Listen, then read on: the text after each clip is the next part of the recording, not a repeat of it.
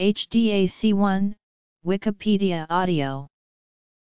4BKX, 5ICN NM004964 NM008228 Function. NP004955 NP032254 Histone deacetylase 1 is an enzyme that in humans is encoded by the HDAC1 gene.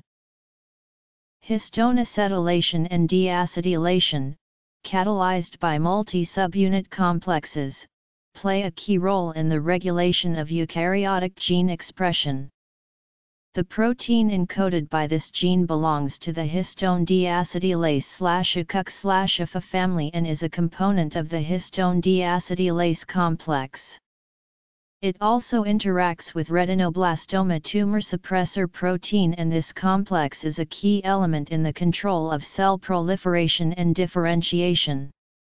Together with metastasis-associated protein 2-MTA2, it deacetylates p53 and modulates its effect on cell growth and apoptosis. Model organisms have been used in the study of HDAC1 function.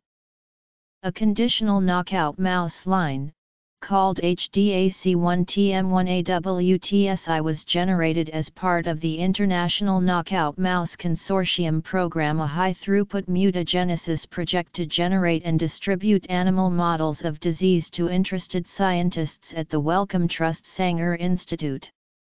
Male and female animals underwent a standardized phenotypic screen to determine the effects of deletion. 25 tests were carried out and two phenotypes were reported. A reduced number of homozygous mutant embryos were identified during gestation, and none survived until weaning. The remaining tests were carried out on heterozygous mutant adult mice, and no significant abnormalities were observed in these animals. HDAC1 has been shown to interact with Model organisms. Interactions